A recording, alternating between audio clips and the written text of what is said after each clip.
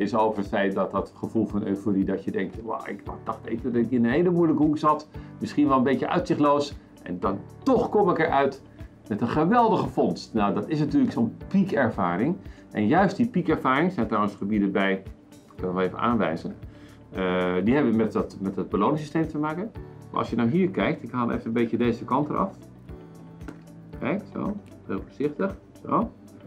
En dan zie je hier de insula. Dit eiland heet de insula.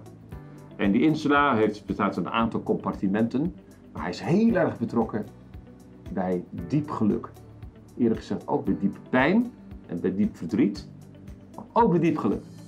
Dus dat wat Bert beschrijft als zijnde, wauw, dit is mijn moment van euforie.